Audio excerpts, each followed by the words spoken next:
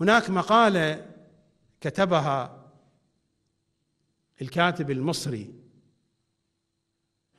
أسامة أنور عكاشة موجودة على الإنترنت ارجعوا لها الليلة. إذا كان عندكم وقت ادخلوا على الإنترنت. واكتبوا أسامة أنور عكاشة أمهات الصحابة. مقالة مفصلة في آخر أيام حياته. توفي قبل فترة ليست بعيدة. كاتب مصري معروف ربما يعرفه الكثير منكم. أكثر المسلسلات المصرية أكثر الدراما المصرية هو يكتبها. قصاص روائي أديب. مثقف من الطراز الأول مطلع على التاريخ وعلى الأدب. في هذه المقالة جمع معلومات وكل هذه المعلومات موجودة في كتبهم. وأنا أقول لكم هذه المعلومات قليلة.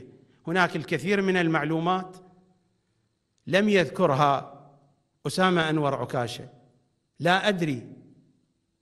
ليس مطلعا عليها أو خوفا من ذكرها. وإلا هناك تفاصيل أخرى كثيرة يتحدث فيها عن عوائل الجيل الأول الذين حكموا المسلمين وعن خسة أنسابهم وعن ولاداتهم غير الشرعية وكل هذا مذكور في كتب القوم. لذلك ستجدون حملة شعواء عليه إذا دخلتم إلى الإنترنت بسبب هذه المقالة. أنا أقول هذه المقالة ما عندي وقت وإلا لفصلت الكلام الموجود في هذه المقالة وفي غيرها. لأن كتب القوم مشحونة. هذه الزيارات حينما نقرأ في زيارة سيد الشهداء وأشهد أنك كنت نورا في الأصلاب الشامخة والأرحام المطهرة. هذه الأوصاف هذا تعريض تعريض بأولئك.